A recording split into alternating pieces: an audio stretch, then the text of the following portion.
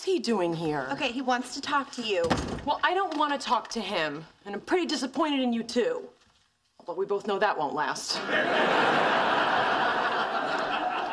Sheldon, you're up. Thank you. Amy, I'd like to apologize. Your accomplishment was impressive, and I'm proud of you.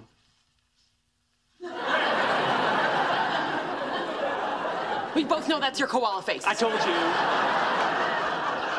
Okay, look, he bought you this. Jewelry? Seriously?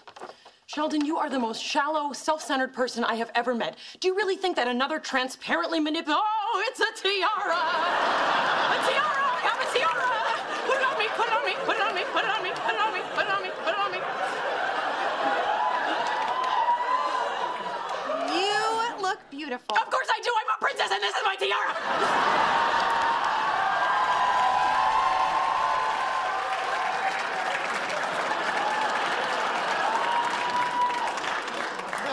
You're right, tiara was too much.